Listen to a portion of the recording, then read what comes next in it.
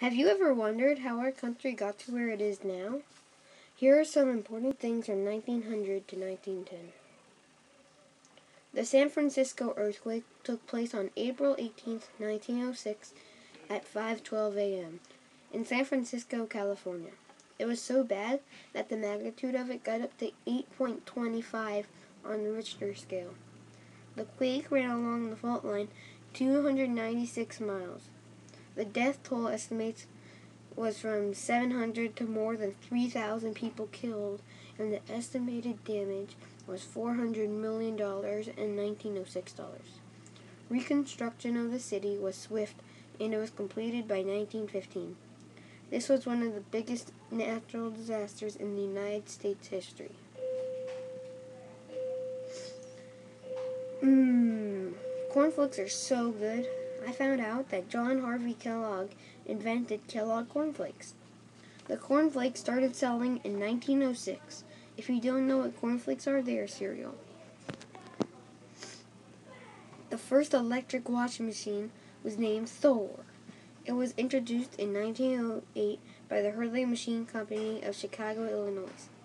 The person who invented it was Alfred J. Fisher. It was a drum type washer and had an electric motor. It was issued on August 9, 1910. Robert Peary was born in Cresson, Pennsylvania on May 6, 1856. Peary set out in 1909 to travel to the North Pole. He didn't reach the North Pole until April 6, 1909. When he got back to the U.S., he was devastated to find out that someone else claimed to have already found the North Pole before him. In 1911, the United States Congress formally declared Robert Peary to be the first man to reach the North Pole. The Wright had, the Wright brothers had been experimenting since 1899 with flying machines. Their first flying contraption was a glider that only cost $15 to make. Their next machine was a glider with an engine. In 1900, the brothers moved to North Carolina because a friend told them there was a big sand dune and it was very windy, so it would be a perfect place to test.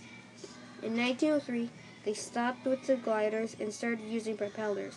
Eight days after a reporter said it would be more than a million years before man would fly, on December 17, 1903, the brothers flew. The apps I used were SonicPics, Pickolish, and Doodle Buddy. And that's the end.